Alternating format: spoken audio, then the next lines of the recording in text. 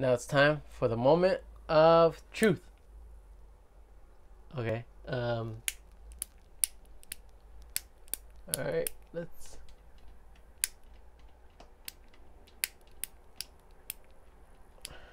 Scratch it. Never mind. Okay. So what I'm planning to do next is to move the power center, which is that brown thing over there. It's pretty much what houses all the electricals in this RV. It also charges the batteries whenever you have it plugged into an outlet. So there are three components to the power center. There's the AC connections, that's like alternating current for the outlets and anything that kind of takes more power than, than you would need on like the 12 volt batteries.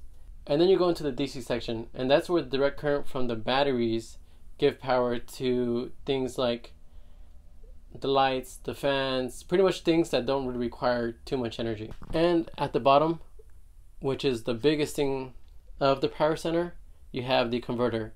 That allows you to charge your batteries whenever you plug in your RV into an outlet. So my plan is to move that thing into here. And I checked the dimensions. It looks like it'll fit, but it's gonna be a tight fit. So it'll be pretty interesting.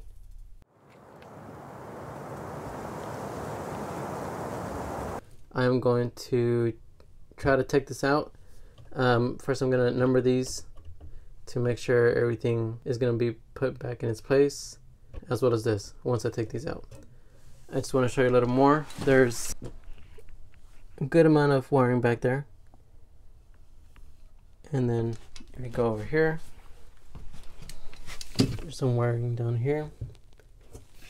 This actually makes it easier because I don't want to move it over here where this thing is at.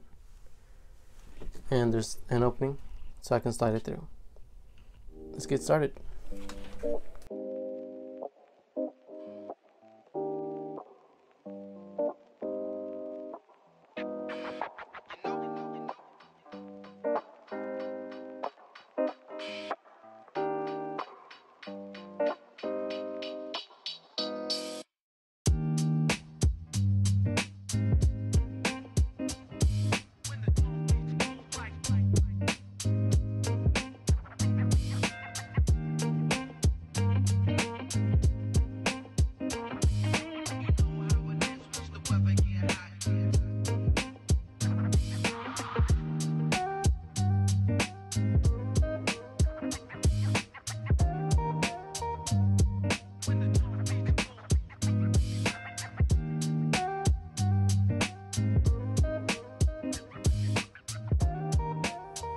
Okay, so I'm here looking at the wiring for the power converter.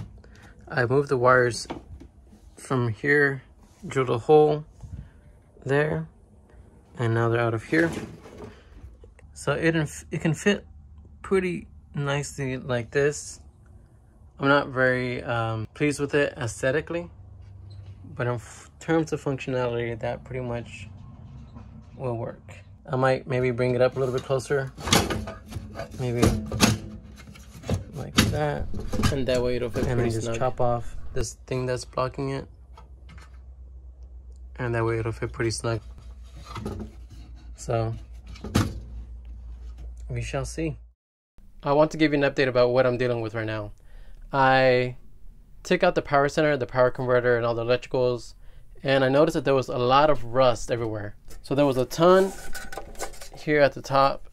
There was, you know, there's all this here, all the back side, and there's actually some on the inside too that you can't really see.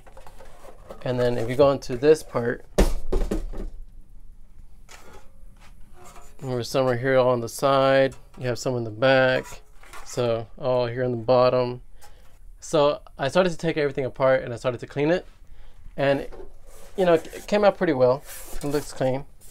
Um, but halfway through cleaning, I started thinking, man, this shit's old. Think about it. This is like 30, over 30 years old. You're talking 1989. I mean, cell phones weren't invented yet. You still had like dial up, maybe? It was dial up invented? I don't know. So I was, you know, grinding away and I had a strong feeling that there's probably something out there that's better. And I did some research and I actually found something that's smaller, lighter, more efficient at like charging your batteries. So I uh, went ahead and ordered it. So now, I guess you just have to wait till it comes in.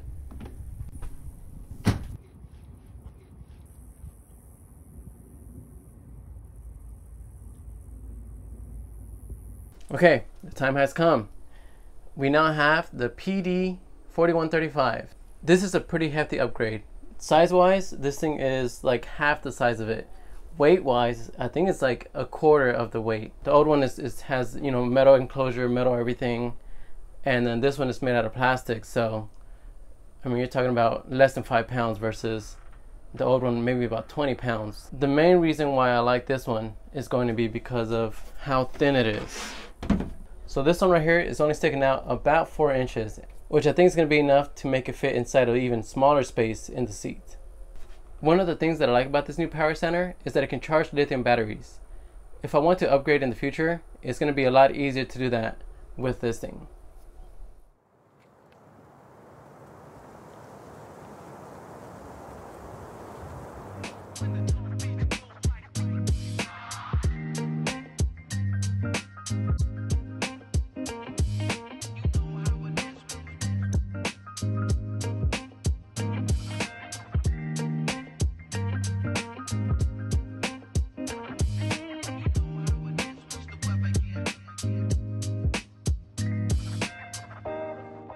Okay, I want to give you guys an idea of how I'm wearing the PD4135.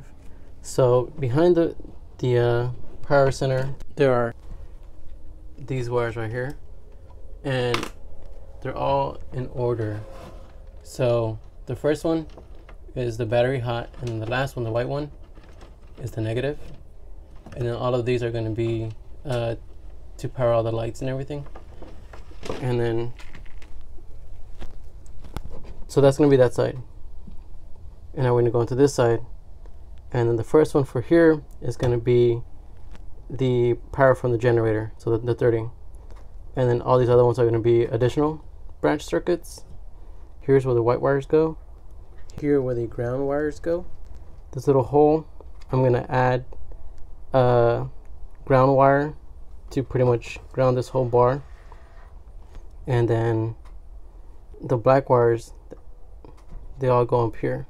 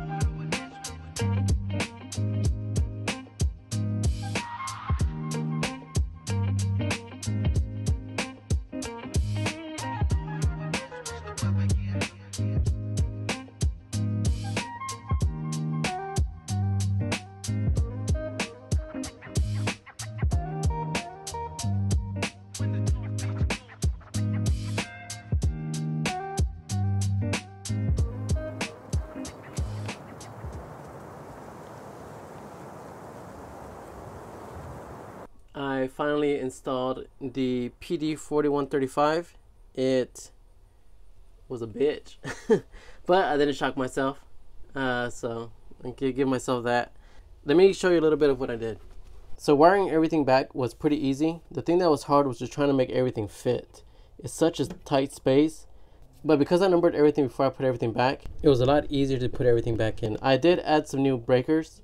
There's a 30 and 20 tandem now instead of a 30 single and a, and a 20 single. So number four moved over here and then everything just got shifted over. I added a separate breaker connection for the converter. Before it was combined with one of the outlets, so now it has its own breaker. I did add a another outlet here. This one is connected to this bad boy right here. It can charge, you know, your laptops, your phones whenever you're using this. So if you look in here, you'll see all of my connections. It's a mess, I know. It's really hard to work in this little tiny spot. So you have the first one here that is the ground to the RV, and then that gives ground to everything else. So all of these are these breakers up here, just grounded. The last one right here is the converter. And then see there's the white that connects to the neutrals over here. The first one is the 30 amp. The second one is the 20 amp for the AC. And all the other ones are for the outlets. And then right here, all the black ones are just connected to each breaker. Now let's get into the DC section. One thing you notice about here is that there's two red wires and then the other ones are black. So the first red wire and then this white wire are for the battery. So it's positive and the negative. And then the second red wire is to connect another battery. So in case you, you I guess, want to charge something else. But this one for me is not connected. All the other connections were connected in order right here.